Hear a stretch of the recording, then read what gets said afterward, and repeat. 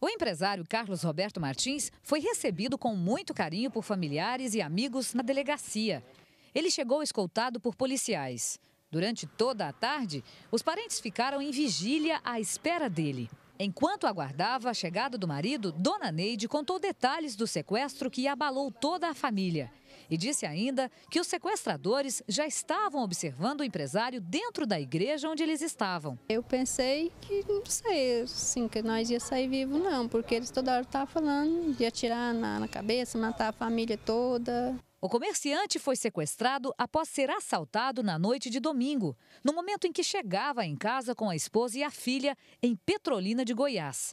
Câmeras de segurança registraram o momento do sequestro. O filho do empresário conta que durante a ação dos bandidos, eles fizeram várias ameaças pedindo dinheiro. Já mandaram um vídeo dele, que falando que queriam quantia de 200 mil para liberar ele.